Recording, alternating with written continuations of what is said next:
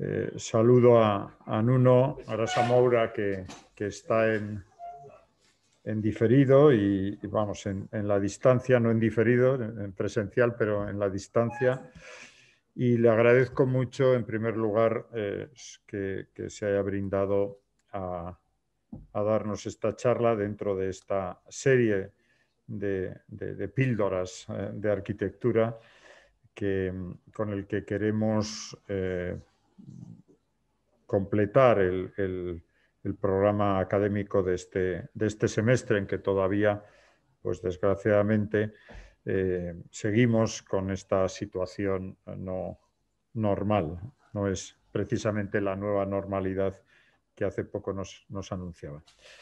En cualquier caso, eh, en uno, Grasa Moura eh, es en primer lugar, un, representante de, esta, eh, de, esta, de este conjunto de, arquitectos portugueses que sigue a la generación de los eh, maestros reconocidos, formado en la eh, Facultad de Arquitectura en la Universidad de Porto y colaborador del estudio de, de Eduardo Soto de Moura durante ocho años e incluso eh, en proyectos que a su vez eran colaboraciones entre Sisa Vieira y, Soto Moura.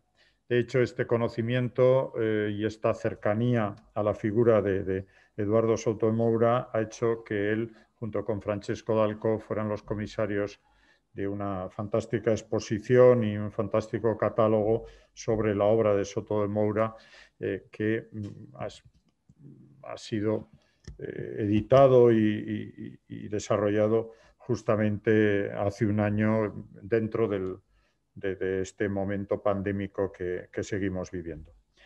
Desde 2002 eh, eh, trabaja de manera independiente y sus proyectos sobre realmente muchos de carácter residencial, pues han sido premiados, el premio Bauer, o el premio Joao de Almada, eh, también por la remodelación de, la Casa Rosa, el Hotel Casa Rosa en, Oporto, que es una obra muy reciente de 2019. Ha sido premios FAT, premios ENOR como finalista, premios Reiner Stiftung, el Big Mat eh, y los premios de la Fundación Gulbenkian o eh, María III y Vasco Vilalba, entre otros. Por tanto, es un arquitecto cuya trayectoria es plenamente reconocida ya no solamente dentro de las fronteras portuguesas, sino más allá de ellas. Eh, como digo, hemos tenido la oportunidad de tenerlo como docente en esta escuela, incluso en estos momentos y en estas situaciones nada, nada fáciles para, el movimiento y la movilidad inter, eh, interpaíses, pero eh, no quiero dejar de, de, darle las gracias por el esfuerzo, por el seguimiento de los alumnos y por mantener la docencia a pesar de estas dificultades. Sin más, con todos nosotros, eh, Nuno Grasa Moura. Adelante, Nuno. Muchas gracias. Bueno, ah, ante todo quería agradecer, Miguel Ángel, tus palabras eh, a Mario también y a toda la escuela por la invitación para estar aquí a hacer una conversación con vosotros, eh, que es verdaderamente un placer. Eh, deciros que estáis muy afortunados de tener clases en una escuela como esa, que me ha dado un placer enorme de dar clases también ahí. Y quería también cumplimentar a mis amigos, todos que he dejado ahí, como César, Asier, Luis y tantos otros. Es para mí un, placer estar aquí. Bueno, eh, esta, esta, conversación era para, para, eh, para hacerla el año pasado, pero el año pasado ha sido un año muy raro, ¿no? Y yo ya no me acuerdo bien, pero que tenía cualquier cosa que ver con la artesanía. Bueno, eh, después he hablado con, con, Mario y he decidido que presentaría a dos proyectos. Em, la selección de esos proyectos em, tuvo, no tuvo bien un criterio muy racional. He optado por el primer proyecto que he construido, que en realidad son varios proyectos, y ya fue hace como 16, 17 años, yo no me acuerdo bien. Y un otro que tiene más que ver con este tema de, de la artesanía, que fue muy improvisado en el norte de Portugal. Bueno, y Mario me, me decía en la, en la en la, la presentación para, este, para esta aula, que debería presentar dos conceptos o dos ideas. Y, y yo creo que una cosa que es muy, que se debe discutir también en las escuelas, porque en las escuelas donde he dado clases muchas veces se discute mucho esa cuestión del concepto, de la idea y tal. Y yo creo no sé, una vez, a mí no me gusta más la palabra idea, porque concepto es una cosa más filosófica, más difícil de explicar, quizá para los alumnos también.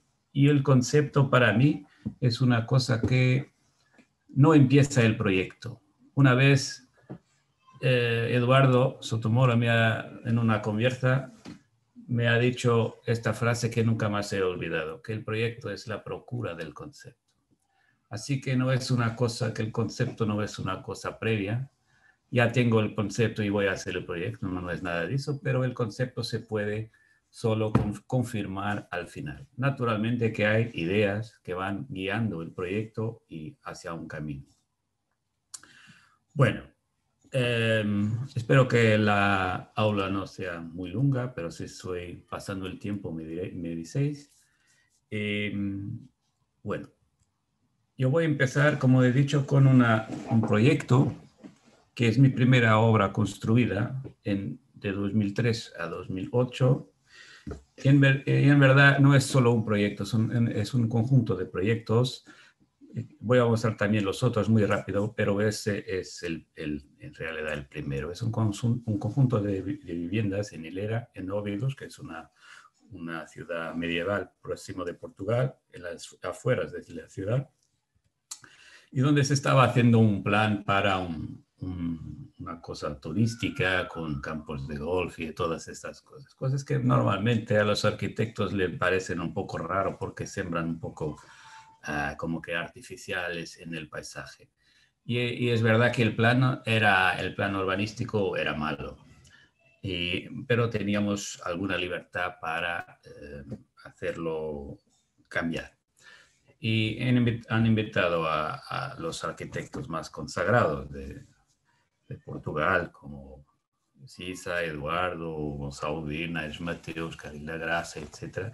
Y después algunos más más nuevos como yo y, otros colegas para eh, hacer algunas edificaciones en este, en este proyecto. Bueno, la primera cosa, eh, también por formación académica que tenemos y, profesional, es, bueno, no sabemos bien qué hacer, vamos a ver el, lugar el lugar era ese, o sea, no sería nada, era, un eucaliptal y no se percibía nada todavía del plan que estaba, que estaba haciendo em, planteado ahí.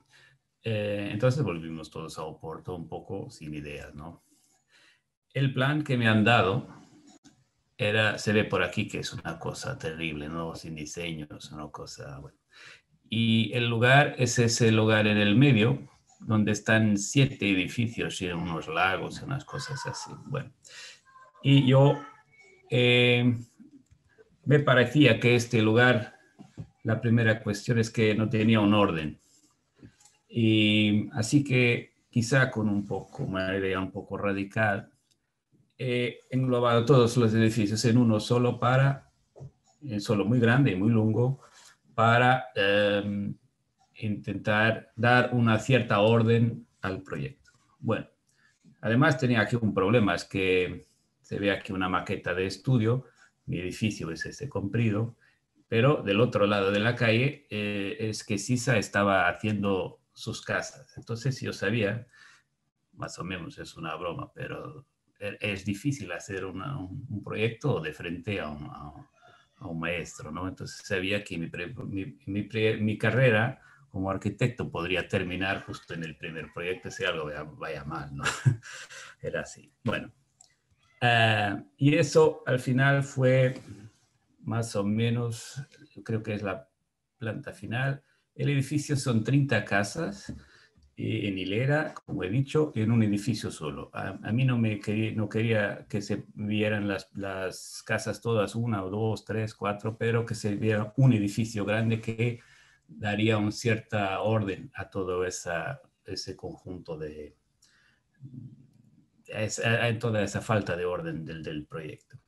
CISA ha hecho justamente lo contrario. Esto ha hecho casas que están todas eh, individuales, eh, también por, el programa que tenía, naturalmente, y que están implantadas eh, con simplemente una regla que son pequeños accidentes topográficos y así. Y yo creo que al final tuvimos suerte, no trabajamos en conjunto, pero si yo, yo, hubiera hecho la misma cosa que CISA, su proyecto quedaría peor. Así que creo que mi regla muy rígida hace danzar como que danzar un poco más estas edificaciones de Sisa y también lo contrario. Bueno, el proyecto es hecho por módulos naturalmente y esto es un módulo de dos casas simétricas. Se entra ahí por un pasillo exterior, después hay un, área de, distribución, los, los, dormitorios para un lado con los baños y para el otro lado la sala y la sala de estar, comer y cocina ambas estas áreas, área de noche y área de día, se abren para patios, que es una cosa muy mediterránea, ¿no? Em, además que están en toda la historia de arquitectura, ¿no? No hay novedad ninguna. Los patios, los cuartos, los dormitorios, perdón, están mirados para un patio más cerrado, con un muro, para que proteja de la calle y el, la sala y, eh, y, el, y, la cocina están abiertos para un patio que es cuadrado, más o menos eh, parcialmente cubierto y que eh, es parcialmente cerrado por unas paredes, unos muros dispuestos de, por un orden que tiene una geometría de orden, pero siembra un poco un orden irregular. Bueno, ya vemos abajo la sección. Otra cosa es que, la, que la, las cubiertas era una regla del, conjunto, todo deberían ser eh, hechas con plantas. Y yo quería también que no fuera solo un, un material de, para acabar las, las, cubiertas, pero también dejarlas crecer por arriba, por encima de los patios para que produciesen esos eh, áreas de sombra que es agradable, porque esta zona hace calor aquí. Y es además una cosa muy portuguesa, creo que también muy española, esta idea de los patios cubiertos con, plantas. Bueno, eh, en Portugal nosotros podemos dibujar todo, pero muchas veces en las obras los artesanos son fantásticos, son de los mejores que hay en el mundo, creo yo pero tienen muchas veces un problema, es que no saben, los mejores no saben leer los dibujos. Así que muchas veces, yo naturalmente he dibujado todo el proyecto de ejecución y todo, pero muchas veces no se comprendían, no lo comprendían bien. Quizás somos nosotros arquitectos que hacemos todo un poco abstracto para la gente que va a construir. Y es una cosa que tenemos que tener cuidado porque hacemos diseños para estudiar, pero después hacemos diseños para que la gente perciba cómo lo va a construir. Bueno, y eso eran diseños que yo haría, habría, hacía en, las paredes hablando con los artesanos para explicar mejor los detalles. Y al final creo que los diseños que arriba hacía la mano realmente eran más claros que esos diseños que se hacen en AutoCAD, que son un poco rígidos y todo eso. Naturalmente había accidentes, unas veces me llamaban diciendo que ya no tengan los pormenores porque habían pintado la pared. Bueno, es así. Estas son maquetas de estudio porque no sabía muy bien cómo, cómo abrir las cazas hacia el exterior. Y otra y al final me eh, eh, hice esta opción de cerrar, como se ve aquí abajo. los patios de, los cuartos, de los dormitorios hacia la calle y abrir la parte hacia atrás a un jardín común que existe ahí. Y esa es eh, la imagen del proyecto ya construido. Se ve una cierta repetición, pero eh, una cierta radicalidad en este proyecto, una cosa muy lunga, que después permite que las casas de CISAN tengan, se vea la individualidad también de cada una. Eh, naturalmente que yo creo que todo eso está también en la memoria de, las construcciones del sur de Portugal. Esto no es, no es muy lejos de ahí. Está fotografado, no sé si todavía existe, pero las, las construcciones portuguesas eran así, calles pintadas de blanco en el sur eh, calles pintadas de blanco solo con puertas. Y es lo que he hecho. O aquí, como es una, unas casas, ya estas, estas son muy cercanas. No las conocí también porque es un colaborador que me ha dado un, libro donde aparecían estas construcciones que al final tuve esta, esta eh, coincidencia, creo yo, que habría cualquier cosa que se parecía formalmente también con mis casas. Bueno, y eso es la entrada. Ahora voy a mostrar unas fotos de los, de los edificios. Esa es una entrada de siempre para dos casas. Eh, esto es la vista al revés, donde se ve la casa de Sisa y al fondo espretan, mirando hacia nosotros. Eh, los patios de los cuartos, que misturan materiales muy artesanales con materiales ya industriales como las, el aluminio y todo eso esto es todavía una, foto de obra que no estaba construido. El patio, todavía sin plantas, naturalmente. Este es el espacio de entrada. Hay un garaje abajo que intenté esconder lo más posible porque no, no me parecía muy natural haber un garaje así en eso, pero al final me ha quedado bonita, creo yo, que es un corredor, un pasillo de 200 metros y, las, y bueno, y el garaje está ahí. Y esto es eh, la imagen del, espacio de estar, de la sala, que tiene el prolongamiento con eh, el patio exterior y esos muros que confieren de una cierta manera alguna privacidad también a este patio. Una vista de afuera con donde se puede ver que no se percibe bien dónde termina una casa y dónde empieza la otra, que era la, mi idea de, del edificio grande. Y naturalmente que creo que hay cosas que descubrimos, otras que no, y que ya tenemos en la memoria. Em, creo que dos años después de, o un año, ya no me acuerdo bien, después de hacer este proyecto, no, no estaba todavía construido, pero estaba hecho, he comprado este taller para mí, que este es mi taller actualmente, y he mirado que tenía una, una fachada igual. Eh, yo ya la conocía seguramente porque mis padres habitaban no muy, no muy lejos de aquí. Y es un, taller que ha sido hecho por, por un arquitecto famoso portugués de los años 50, y donde se ve que esos muros te dan, en la foto de la izquierda, de la derecha, perdón, una, una vista muy abierta hacia el exterior, donde hay un jardín, y, pero cuando lo miras no de frente, como la miras en la foto de la izquierda, son casi una pared cerrada, pero que permite todavía la iluminación. Y era un poco esa idea de lo que yo quería. Así que fue una casualidad feliz. Y esta es la vista general del conjunto, donde se ve que en las casas más a la izquierda se puede mirar hacia adentro, pero estas, este conjunto de paredes, eh, cuando todos tomados, se van eh, transformando en una pared continua, casi sin aberturas, más a la derecha. Eh, después había también en el proyecto un lago pequeño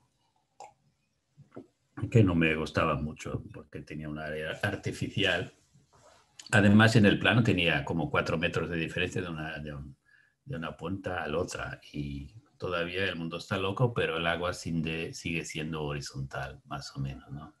Entonces he intentado de hacer una, un puente casi eh, para que el lago pudiera tener, en un valle, para que el lago pudiera tener un aire más eh, natural, diría yo. He hecho esos, esos huecos en un muro para que parezca que el agua sale, sale de ahí, lo que no es verdad. Arriba he construido la piscina casi como continuación, digamos así, del valle y del, y del lago. Es esta cosa. Y quería hacerla de un color más oscuro, pero al final no lo he logrado. Y esto es una imagen del final. No ha hecho, no había proyecto de paisajismo. Después había un paisajista, pero yo le digo, le he dicho que no, había, no era necesario. Esta era la vegetación eh, que se ha quedado y a mí me parece muy bien porque no tiene muy diseño, mucho diseño, quiero decir. Y, y tenía un aire más natural.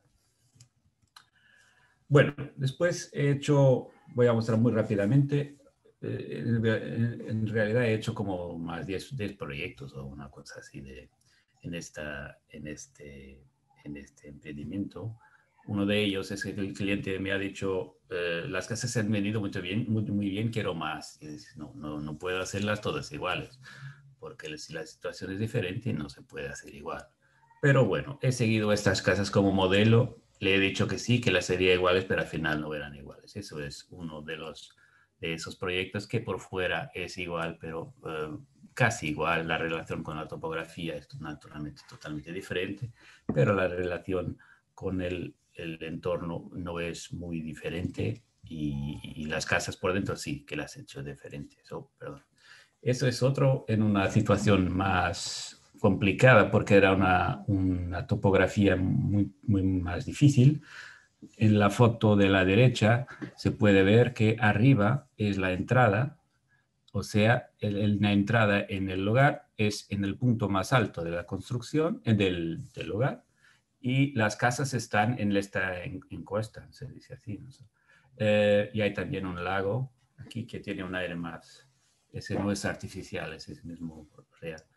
Y así que las casas son como, son como que grabadas en esta escuela, en esta encosta, y como se puede ver en, en, la planta abajo, intentan eh, individualmente o, en conjunto más o menos seguir la forma de la topografía, que es un poco más dramática al final. Y esto es la foto de la, derecha, de la izquierda, esa plataforma de entrada y a la parte de las cubiertas se puede ver el paisaje y cómo las construcciones están de una cierta forma repitiendo lo, la topografía. Después he hecho también una, un conjunto de 30 casas, o 36, ya no recuerdo bien, que era una, una, montaña entera. Eduardo hacía la parte de arriba y yo hacía la parte de abajo. Así que hemos intentado encontrar un orden para todo, el, para todo ese, ese monte y después cada uno de, eh, estudiaba sus casas. Eh, bueno, y al final, estas son las perspectivas aquí desde la vista de los jardines del golf, de las calles, que son, son masas muy abstractas, se parecen muy cerradas, como la vemos aquí, y después cada una es abierta para un jardín individual. Aquí todavía ya ha crecido un poco la vegetación, y hay algunas tipologías diferentes. Eh, esta es una forma en, una forma de L, con la piscina y todo eso. La piscina no quería que pareciera bien una piscina, pero más un tanque agrícola de irrigación, una cosa así. Bueno, y, eso son más o menos las casas como se quedarán al final, que parecen muy cerradas, pero no, en verdad no lo son. Los patios, los cuartos siguen siempre esa idea de de buscar un espacio más íntimo, así que se abren para patios y las zonas comunes, las salas, cocinas, etcétera, se han abierto hacia jardines donde se puede ver al fondo el mar y unas islas muy bonitas eh, que hay ahí. Bueno, después he hecho también unos equipamientos. Esto es un, un edificio de manutención para los jardines y para el golf, que era una cosa que debería quedar muy oculta, pero era enorme. Yo he hecho con también con una arquitecta, que mi amiga, que es Luisa, que ha trabajado conmigo. Em, y además es solamente un muro en hormigón con dos puertas, una aquí y he creado más que un garaje, pero que, que, era lo que me pedían, un espacio también donde la gente pudiera trabajar afuera para que no se sintiera eh, dentro de un garaje. Así que he hecho en el eje de esta entrada un patio para que se pudiera tener luz y, respirar ahí un poco, ¿no? de trabajar ahí afuera. Y es donde la gente realmente trabaja. Después he hecho también el Clubhouse del Golf, que es el edificio principal, es ese edificio. Ahí está en una encuesta también y es casi una cubierta posada sobre unos pilares y unos muros de piedra. Aquí tenía una situación difícil, es que Eduardo ha hecho, habría hecho un, hotel justo ahí, justo eh, no muy lejos de ahí, entonces que mi edificio hacía casi parte del suyo que es una situación difícil. Yo no, yo no conocía bien el proyecto porque Eduardo todavía no lo había hecho, pero la maqueta es esta del mío edificio que se entra ahí más arriba y el inicio del campo de golf es en la cubierta del edificio. Así que es una cubierta verde con un cierto espesor y después el edificio está abajo de esa cubierta eh, con unos barandillos, balcones para ver el paisaje. hacia la calle eh, es un muro de piedra y nada más. Bueno, se entra ahí por la izquierda y estas son imágenes del interior donde se puede ver la relación con el entorno, que todavía aquí estaba muy poco arborizado. Y la, relación en el exterior con el lago que está hacia abajo. Bueno, creo que es esto es el último, que es un, un, club de golf en una situación muy bonita. Y al fondo hay una laguna, que es la Laguna Lobios. Y yo quisiera que de esta calle se viera el paisaje. Entonces, una vez más, he hecho un edificio que se entrara por la cubierta y a la izquierda, donde está ese objeto eh, marrón, eh, se entra desde una escalera y después el, club de tenis está abajo se dice esta escalera que vemos ahí a la izquierda y, después se queda el edificio transparente hacia los campos de golf. Después hay un balcón para que se produciera sombra para la gente. Y es más o menos así, es casi como un puente que limita todas estas construcciones un poco sin regla que hay atrás. Mientras tanto, la vegetación ha, construido, ha crecido mucho y no se ven los términos del edificio en esta fotografía, pero el edificio es, eh, va casi a la, eh, disminuyendo hacia la cota de cobertura, es decir, que parece como que un puente o un barraje, se dice barraje, no, no lo sé bien. Eh, bueno, el segundo proyecto, no sé si estoy, si estoy en el tiempo, o sea, estoy de más voy siguiendo. Si, si queréis, me interrumpéis. El segundo proyecto es la recuperación de un, de un edificio eh, que es un núcleo de edificios en Vidago, en el norte de Portugal, cerca de España. Em, y este, este edificio, construcciones agrícolas, así que se trata de un edificio más, eh, como diré, más, eh, es una recuperación o cualquier cosa como eso porque las casas estaban todas degradadas y además el programa era una cosa mm, eh, no muy clara. Ellos querían unas salas para que pudieran ser flexibles para hacer eventos, porque eso está integrado en un, bellísimo hotel, famoso hotel en Portugal, que es el Hotel de Dago Palace, y, tiene un jardín enorme, muchos hectáreas, y tiene algunas construcciones como esas. Así que querían utilizar eso también para que los huéspedes del hotel pudieran tener aquí funciones. Y eso eran las imágenes de las construcciones todas destruidas. Pero me han gustado muchísimo estas casas. Tenían una dignidad eh, impresionante, mismo, mismo todas demolidas. No tanto en el interior, que estaba así, pero en la idea de cómo estaban implantadas en el terreno, la relación, hay muchas rocas aquí, la relación que tenían con esas rocas y todo más e, era una, una lección. Cuanto más estudiaba porque las formas eran así, más me gustaban las casas. Así que he entendido que deberían quedarse más o menos como eran, con algunas excepciones, excepciones perdón, porque algunas casas habían sido tan alteradas que ya no se percibía bien cuál era la idea eh, inicial de esas casas. Así que he cambiado muchísimo el interior, y no solo el interior, pero, pero uh, en el sentido de dar un sentido a las construcciones que, que ya no habían tanto sentido. En esta casa, que es en una forma de T, fue más fácil porque fue solo ampliar un poco los espacios, cerrar unas ventanas, abrir otras para que parece, siguiendo que parezcan naturales, lo que es una cosa difícil de hacer. Y en el edificio de abajo eh, es el que he alterado más el edificio porque estaba muy, muy mal hecho. Entonces he hecho una cosa que es naturalmente muy discutible, pero que me interesa, que es, eh, un, eh, un, poco, es una, un poco una invención de cómo pudiera haber sido ese edificio, un poco al estilo de Viollet-le-Duc, cualquier cosa así. Porque ese edificio era un espacio, creo yo, originalmente un espacio abierto, pero cubierto, para eh, secar el maíz. que se dice maíz, sí. Y normalmente tenía unas puertas para ventilar. Así que he rehecho una fachada que no sabía muy bien si cómo era, pero he visto y he copiado de otras fachadas como, como se hacía antiguamente. Y estos son los alzados y las secciones. Bueno, ya ha empezado la, obra.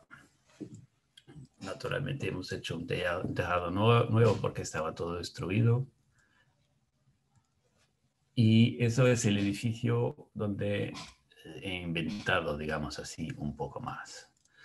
Es una cosa un poco rara, porque muchas veces en, las recuperaciones, yo había aprendido eso con Eduardo, muchas veces en las recuperaciones se, se, destruye el edificio para hacerlo otra vez, o por lo menos partes del edificio para rehacerlas. Y al rehacerlas puedes introducir naturalmente algunas cosas correcciones, digamos así, porque no se debe mantener solo por mantener, pero se puede hacer mejor o, intentar hacer mejor, sin cambiar la lógica natural del edificio. Y he estudiado, porque estaba un poco barajado mi cabeza, he estudiado todos estos conceptos de, de intervención, restauro, rehabilitación, reinterpretación, todo esto, sin llegar muy bien a una conclusión de lo que estaba hecho de lo que estaba haciendo, perdón. Y un amigo mío me ha dicho una vez una cosa que es de una sencillez, pero de una, de una verdad eh, que yo creo que es impresionante, no me ha jamás olvidado que había dicho, mira, hace lo que quieres y si queda bien, después ves cuál es la tua, la tua, el tipo de intervención que has hecho. Es un poco al final ves el concepto. Sigue tus ideas y vas a ver. Si queda mal, es que el concepto está bien. Si no, si queda bien, es que el concepto está bien. Si no, el concepto no, no puede ser. Tienes que volver atrás. Y es lo que he hecho. Bueno, eh, después había muchas, eh, muchas cuestiones que parecen, estas obras que parecen muy simples son en realidad muy, muy complejas. Tienen muchos problemas de cómo hacer y, hay crisis filosóficas en mi cabeza, como si pinto las paredes o no, etcétera, y tales, que eran algunas, algunas eh, experimentaciones. Hubo que retirar este, este, este material que estaba sobre las piedras y que no era, no era original. Eh, la gente quería que la piedra se quedara a, eh, vista sin, pintar, pero eh, estudiando las construcciones de, agrícolas y las construcciones vernaculares, he percibido, lo que es una cosa evidente, que la pintura que se hacía con cal, que es un poco... Eh, tenía también una función que era una función de desinfección y, también de impermeabilización.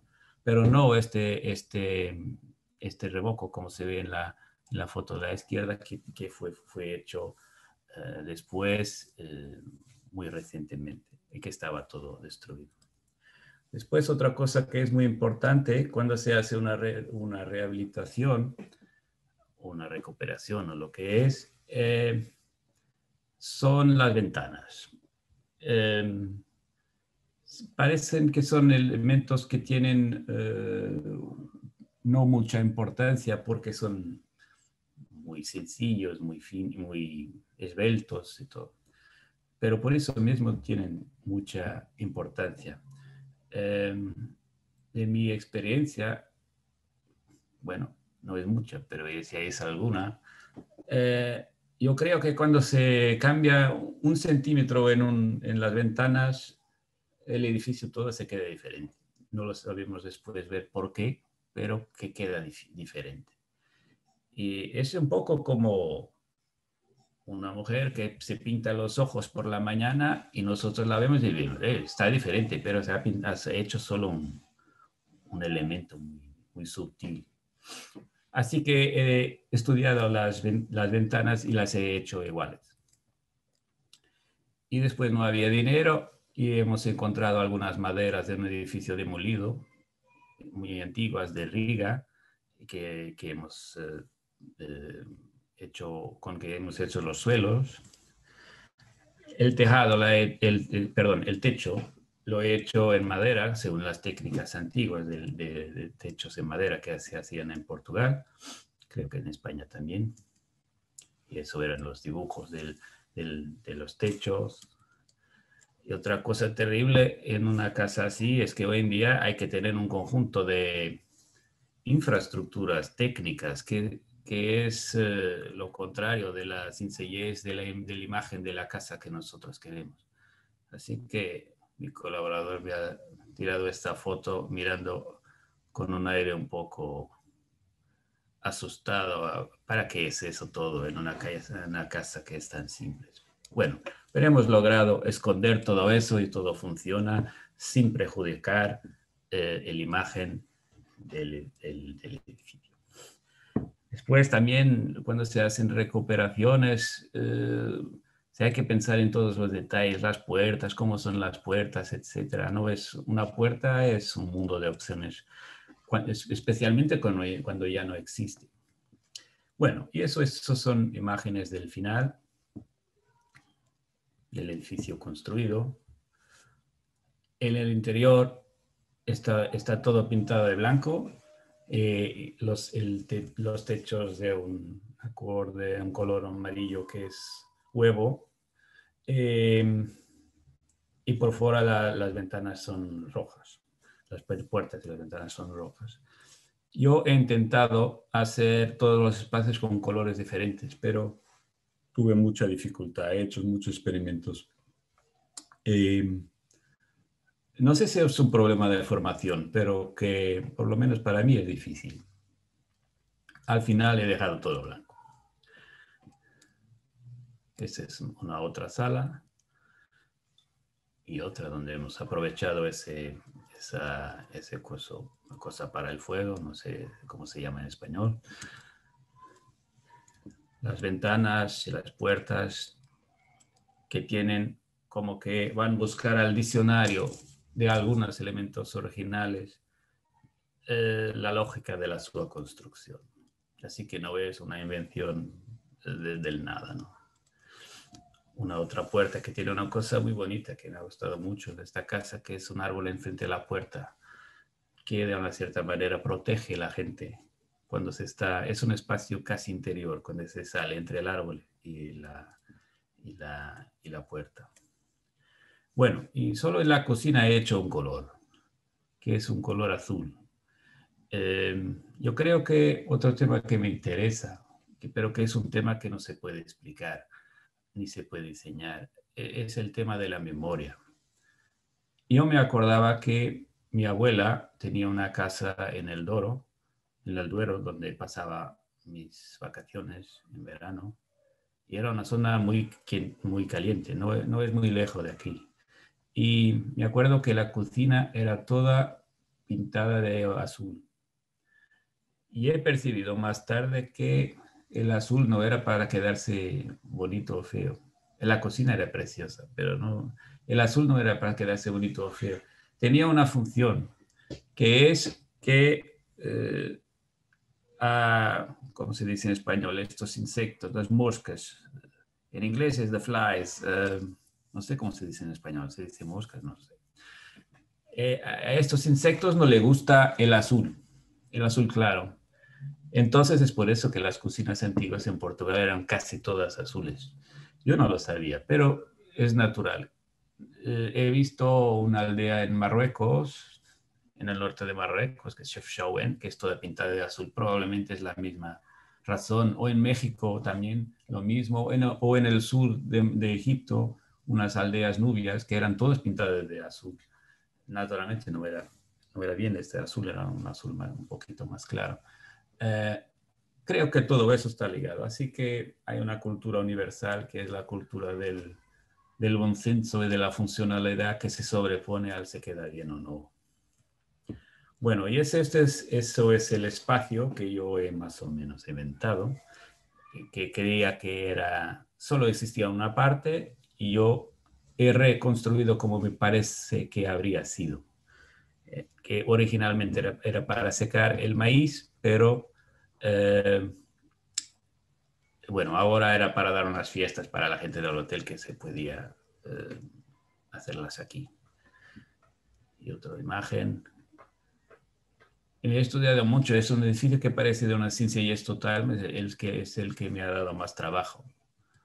Eh, después hay unos, unos baños, unos servicios, perdón, para, que, para las fiestas y aquí he dibujado todo y esas puertas para que inicialmente tenían una, una función de ventilación, pero que ahora se pueden abrir y se ve el jardín. El jardín es una cosa más natural. Y me ha dado un, placer enorme hacer estas, esta obra. No sé por qué, porque probablemente porque tenía mucha, muy, muy poco trabajo. Era, fue en altura de esa crisis terrible hace unos años. Entonces que dibujé todo, dibujé estas cosas para abrir las puertas o cerrar las puertas, dibujé lucernarios lo más banales posible. Y bueno, y había todavía algunos accidentes, un árbol que coincide con tejado, bueno, y con, eh, hemos misturado todo. Y al final esto es el aspecto de la casa que se quedó más o menos como estaba, ¿no? Es eso. Esta casa, esta, esta escalera es fantástica, de una sabiduría enorme, porque está encima de una roca para que no caiga. Cosas que tenemos que aprender nosotros arquitectos. Y las otras construcciones que son ya no parte de la casa, pero ya más construcciones agrícolas para animales y todo eso y tiene, creo yo, una relación muy bonita con el jardín. Es así. El conjunto. O del otro lado, cuando se va eh, acercando, ahí vemos el edificio nuevo. Y he encontrado también una construcción que he dejado como que en ruinas eh, era un tanque y unos, pilares que tenían probablemente una cobertura, naturalmente. Y he dejado, el paisajista me ha dicho, ¿qué quieres hacer ahí? Yo, le dijo, bueno, probablemente nada, porque se está bien así, no, no tenemos que hacer nada. Y creo que quedó bien. Y una cosa que, que a mí me dio más placer en esta obra, no quiero ser arrogante, pero es que me han dicho una vez, eh, mire, mire usted, es que no se comprende bien lo que, ha, lo que ha hecho aquí. Está bien, pero no se comprende bien lo que ha hecho. Y yo he entendido eso como una, un grande elogio, porque creo que en, en algunas obras, por lo menos, cuando al final ya no se percibe bien lo que el arquitecto ha hecho y lo que ha hecho la, la, naturaleza o lo, lo, que existía antes, yo creo que es un símbolo máximo donde se puede llegar. No que yo haya, llegado ahí, pero es una discusión también muy interesante. Y me hace, termino con esta citación de Karl Kraus, que era un escritor austríaco, muy amigo de Adolf Loos, que dice, perdón, que está en portugués, que la carrera, la carrera es la, la profesión, ¿no? Es un caballo que llega a la puerta de la, eternidad sin caballero. O sea que el caballo termina la corrida, gana la corrida, pero el, el caballero también, pero ya no, ya no se reconoce como tal. Bueno, y es eso lo que tenía para mostraros. Eh, perdón si he, si he eh, hecho de más, eh, tiempo de más, pero no lo sé. No sé si hay preguntas o no.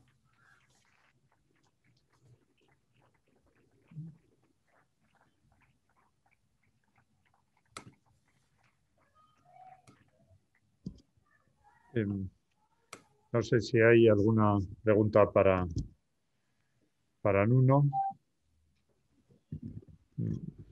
Yo antes, eh, mientras hay alguna pregunta, quisiera hacer esta, esta doble, esta combinación de, de, proyectos, ¿no? Uno más, eh, digamos, más canónico desde el punto de vista de lo que se entiende por una operación arquitectónica naturalmente muy ligada al paisaje, pero especialmente esta segunda, con este casi nada, ¿no? Este, este construir para que no se note que en el fondo tiene mucho de, sabiduría, ¿no? De recuperar todos los grandes valores de la, de la sabiduría contenida en la arquitectura popular y creo que eh, que ha sido muy interesante la medida en que las, la importancia que tienen los pequeños matices, ¿no? el espesor de las carpinterías, la altura de las cubiertas, el tamaño de los huecos,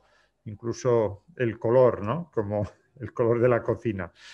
Entonces, eh, creo que, que, realmente esa combinación es eh, muy didáctica y que muestra muchísimo la doble la doble condición.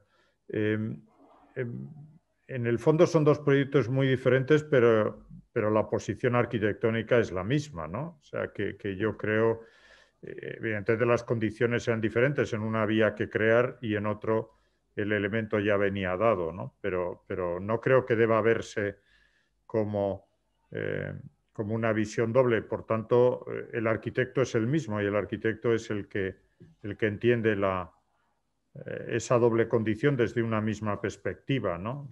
Porque quizá, eh, en el fondo, mi pregunta sería, bueno, mm, no es necesario ser un especialista en restauración para hacer restauración, no es necesario ser un especialista en obra nueva para hacer obra nueva en el paisaje, ¿no? Eso es una pregunta. Sí, claro. no, yo creo que como tú sabes, eh, Juan eh, Miguel Ángel, naturalmente, a mi ver, naturalmente que no, porque eh, dice una cosa muy bonita, que los arquitectos son especialistas en no ser especialistas. Así que conjugamos los saberes todos de los ingenieros, de los artesanos, de todo ese mundo de gente que está en la construcción. No comprendemos muy bien todo, mucho aprofundadamente esos temas, pero eh, somos un poco como el entrenador del fútbol, ¿no? Que, tiene que comprender más o menos sus jugadores y después hacer un equipo y poderla jugar, ¿no?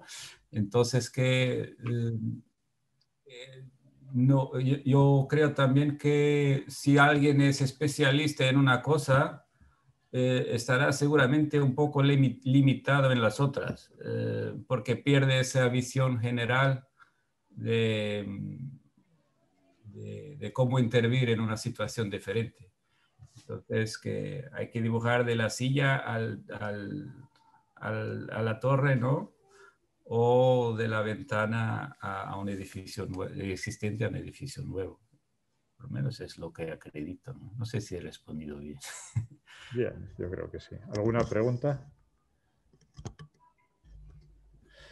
Bueno, es difícil ya, eh, las conferencias son difíciles ya interactuar a través de preguntas también es complicado, pero en cualquier caso, muchas gracias Nuno por, por esta charla y eh, te saludamos desde esta escuela que es, que es tu escuela también. Así que muchas gracias. Hasta pronto. y espero que, que puedan hacer la gente pensar un poco más en los proyectos. Es así. Un gran abrazo a ti, Juan Miguel. Eh, Gracias. Hasta pronto. Hasta pronto. Chao.